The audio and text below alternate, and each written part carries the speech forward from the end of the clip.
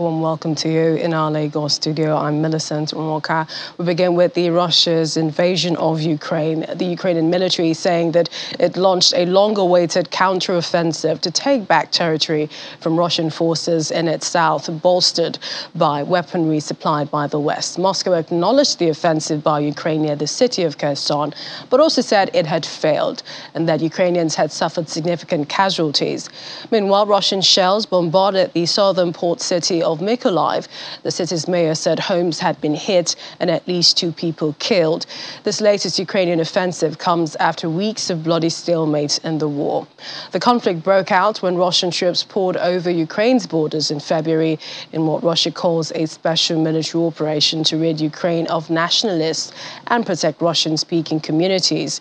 Ukraine calls it an unprovoked war of aggression. Thousands have been killed, millions displaced, and the scale of fighting is larger than anything in Europe since World War II. Russia captured which, uh, much of the south early on. And now Ukraine's using sophisticated Western supplied weapons to hit Russian ammunition dumps and wreak havoc with supply lines. A spokesperson for Ukraine's Southern Command declined to give details of the counteroffensive, saying Russian forces in southern Ukraine remained quite powerful. Meanwhile, Ukrainian President Volodymyr Zelensky has been speaking during his late night address, said that the newly instituted Memorial Day was to remind the world about Ukrainian losses from the 2014 Battle of Ilovaisk onwards.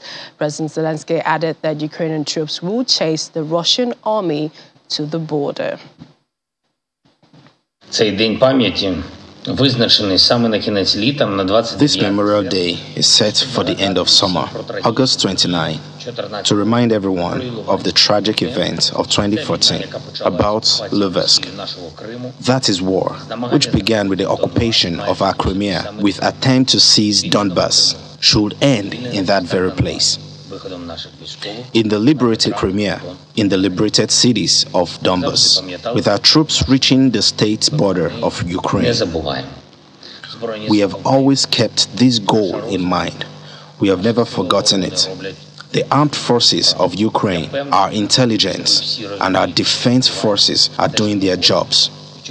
I'm sure you all understand what's going on, what we are fighting for, and what we're striving for and our warriors do not need any announcement or information waves behind them. Ukraine is taking back its own.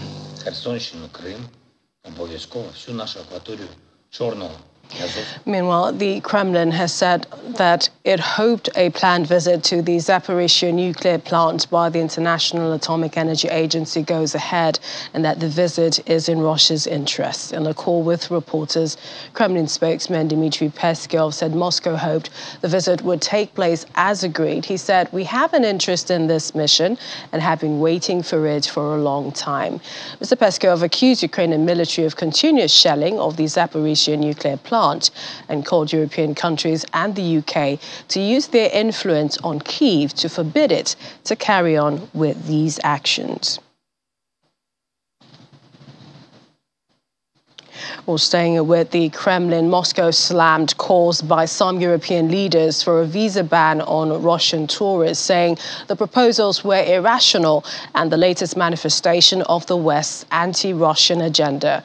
At a meeting in Prague this week, European Union foreign ministers will discuss calls from the Baltic states and some others to stop granting Russians visas for access to the EU's 26 nation-free movement Schengen zone. Kremlin spokesman Dmitry Peskov told reporters, quote, step by step, unfortunately, both Brussels and individual European capitals are demonstrating an absolute lack of reason. He said Europe's actions towards Russia were bordering on insanity, making it possible Brussels could push ahead with a ban in the future. He says without saying what Russia might or how Russia might respond. Eastern and Nordic EU member states have argued strongly for an outright ban on tourist visas for Russians in response to Moscow's actions in Ukraine, saying travel to Europe is a privilege, not a right. But EU heavyweights, France and Germany, are against the proposals to restrict visas to Russians, saying such a step would be counterproductive. VOA's Anna Dechernnikova joins me now from Kiev. Hi, Anna. It's good to see you. Let's begin with uh, Russia's defense ministry saying that Russian forces shot down a Ukrainian drone that was trying to attack the Zaporizhia reactor complex. Uh, it also said other officials, uh, you know, said the Ukrainian missile hit a fuel depot um, at the plant. So it's like all the blame's going to Ukraine. Um, can you confirm this? Good evening. Uh, well, no, I cannot confirm that. Uh, unfortunately, uh, we hear a lot of um, um, a lot of acquisitions from the Russian side um, uh, to the U- U- Ukrainian forces, uh, especially around the Zaporizhia power plant, and especially uh, at this point of time when uh, the International Atomic Energy Agency mission is coming.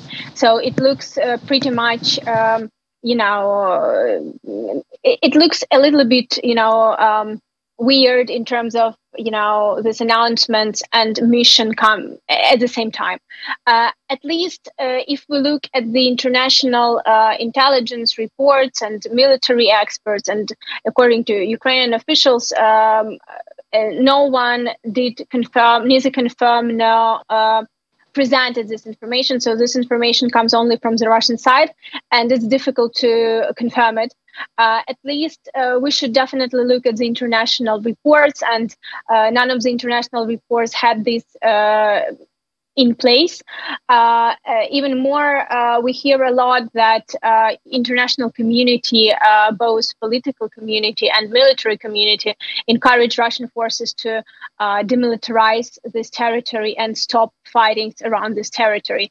So. Um, we cannot, for the moment, we don't have any confirmation of uh, any attacks by Ukrainian forces uh, on the the Zaporizhia power plant, and Ukraine is uh, waiting very much for the uh, international uh, atomic Ad- uh, agency, um, energy agency, to come and to check the state of the of the of the plant and the state uh, of the territory around it. Indeed. Even the White House said that Russia should agree to a demilitarized zone around the plant. But a lot of people wonder about, you know, the situation there because we're hearing of um, iodine tablets, potassium uh, tablets for residents living in that vicinity. We also hear that people who are fleeing other areas um, are actually landing, coming uh, to Zaporizhia, saying that they fear uh, those strikes rather than the possible potential, um, you know, disaster that could occur with the shelling around Zaporizhia's nuclear plant? Uh, well, um, we should, you know, look at this geographically because unfortunately, Zaporizhia is right in this place that people who flee occupied territories in the south uh, it's the only way they go through. So the Zaporizhia is the point they go through. Some people remain there. Some people continue their journey, but uh, this is basically the, the main point uh, of, uh, let's say, of meeting uh, for these people. Uh, so um, coming back to your question in terms of the danger, it is danger and people are uh, and the government uh, local government uh, provide people with additional uh, iodide ta- uh, tablets uh, to in case uh, any leaks are happening uh, again, for the moment, uh, we hear the reports and we follow the reports of the Energoatom representatives uh, who um, who remind and you know uh, keep up to date the, the, population of Ukraine and population of these territories uh, which are close to the uh, nuclear power plant in the the Zaporizhia nuclear power plant. so, for the moment, there were no reports or no um, you know information for any evacuation meaning that uh, for the moment there is no uh, you know real um, risk of something happening right now or right in the very nearest future. Of course it could happen. The risk is still there because uh, fightings are happening around. But still uh, people are you know having this under certain you know up to date control uh, and uh, for the moment, no evacuation was uh, mm, was uh, you know. Uh, uh, so it is possible to evacuate, but no evacuation, which is absolutely must for the people from these areas. Uh, but we should understand that there is always danger and risks, and people are also informed about that. So, uh, in case people uh, take this decision to leave, it's absolutely fine. But evacuation by the government will be done uh, only in case uh, some real uh, leaks started or you know starting to happen. Mm, and also, Anna, Russia said this yesterday. It's almost as if they are confident. And so did a top Russian diplomat saying that Moscow hoped that a visit by the International Atomic Energy Agency um, to the Russian controlled Zaporizhia uh, station would dispel misconceptions about its allegedly poor state. Um, what does Ukraine think? Ukraine uh, definitely is very interested for the mission to start. Ukraine wants uh, clear and uh, fair analysis of the situation uh, because Ukraine um, Ukrainian officials and Energoatom, uh, they have certain, in, uh, they have more, of course, details uh, on the real state of the of the power plant, and they have, uh, you know, enough details and enough information to be actually very worried about the state of the of the power plant. Uh, so it is important that it is. Um, either confirmed and actions are taking because the main action here would be would be immediate demilitarization of the zone uh, or um, at least that the mission would uh, check uh, and say that uh, the state of the of the plant is okay. But again uh, from from what we hear from the chief of the agency and also from the international uh, community of the experts and Ukrainian experts that uh, anyway, the state in which the Zaporizhia power plant is uh, operating at the moment is not a normal situation and it's very dangerous because we should consider that this is the biggest uh, in Europe atomic um, energy sta- uh, plant. And uh, it's definitely not okay that it is a part of the military activity. So Ukraine hopes, uh, and this is uh, probably would be the main uh, aim for the mission, uh, to demilitarize this area and to make sure that the power plant uh, is operating in safe conditions, in normal conditions, uh, and well, hopefully it will be under um, under the control of the experts. And Anna, let's talk on the back of uh, Memorial Day. We heard from uh, President Zelensky, um, you know, and also this is the fighting uh, Ukrainian troops mounting counteroffensive, um, saying that they've broken through Russian defenses, uh, several sectors uh, near the city of Kherson. Uh, but then the Russians are saying that that is not true. We have confirmation from from the Ukrainian military officials and also from uh, some uh, reports from the international media, which um, uh, which get information from international. Uh, also, uh, experts, uh, sometimes anonymously, sometimes not. But um, the main idea is that the confirmed information for the moment is that Ukrainian forces are actually actually made it through the first line of defense of the Russian forces in Kherson region. Uh, so this was an official report from the General Staff of Ukraine and also confirmed by a couple of again, as I already said, international sources.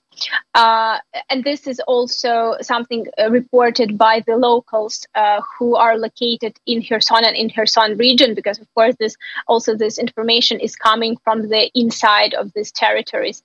Uh, we don't have a lot of details for the moment because Ukrainian officials um, they uh, they confirmed that the action is going on, uh, the counteroffensive uh, actions are going on, but uh, no details would be provided uh, until the operation is done and until there are actual results because for the moment everything is ongoing and it's very um, it's very dangerous to reveal any you know details on this uh, on these particular uh, actions but uh, we also have confirmation that Ukrainian forces managed to liberate a couple of villages.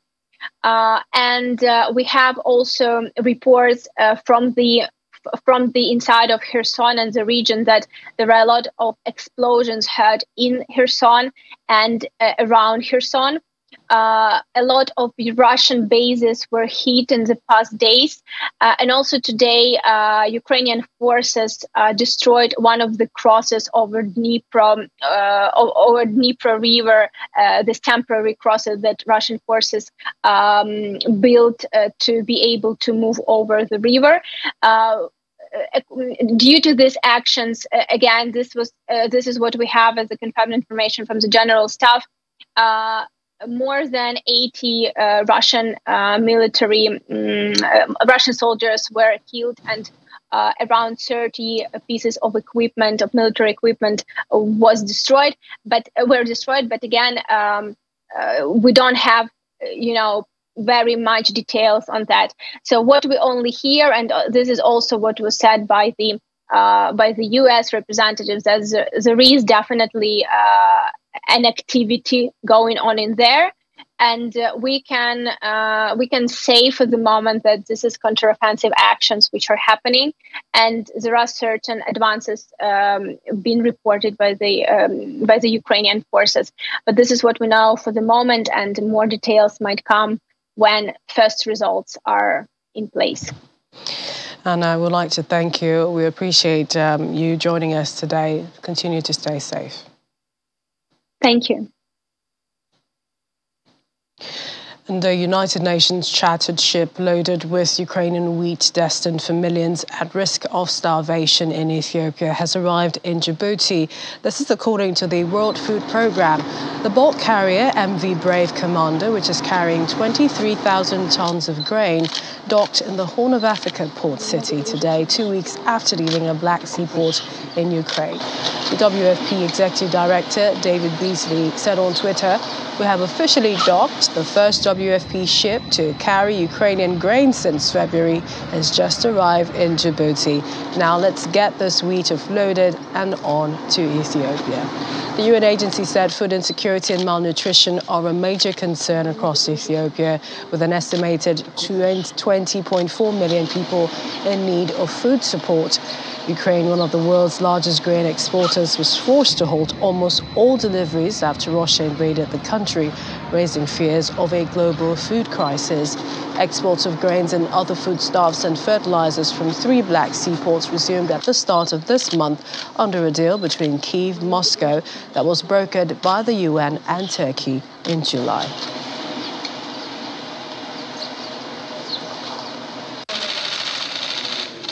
Elsewhere, European Union defense ministers at a meeting in Prague are set to pave the way for the establishment of an EU training mission for Ukrainian forces.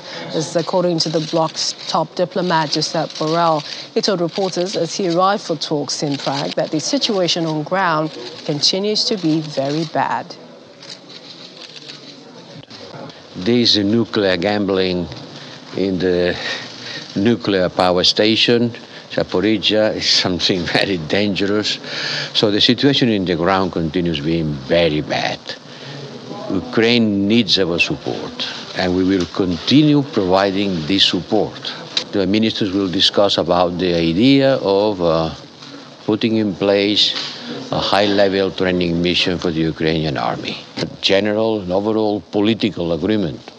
That's what I think we have to get today Later, the details will come.